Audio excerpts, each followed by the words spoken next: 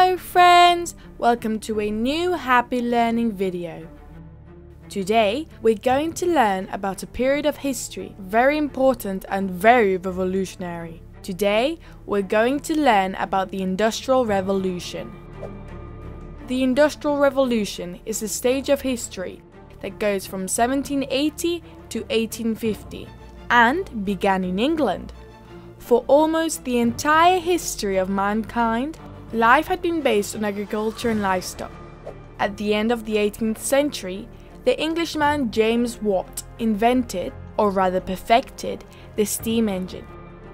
Until then, the artisans had been dedicated to the manufacturing of utensils with their own hands in small workshops, but with the arrival of the steam engine, that changed forever. This machine used the energy of steam to transform it into power and moving other machines. These new machines were applied to the industry and began to do the work that the artisans used to do. So the small artisan workshops were disappearing, giving way to big factories.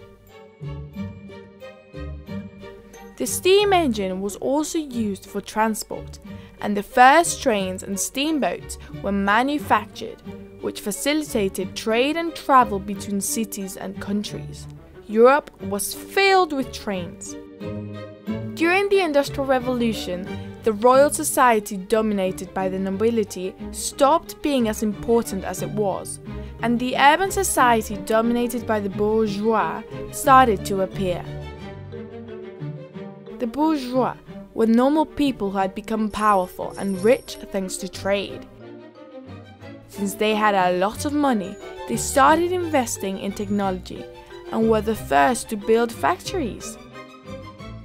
The workers, also called proletarians, were the people who did not have wealth. Not being able to make a living in the countryside or in the villages, they emigrated to the big cities to work in the factories.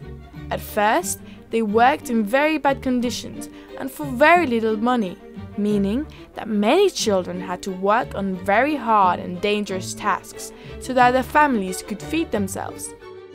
The workers asked for rights to work in a dignified and safe way, and the owners, the bourgeois, did not want to give it to them.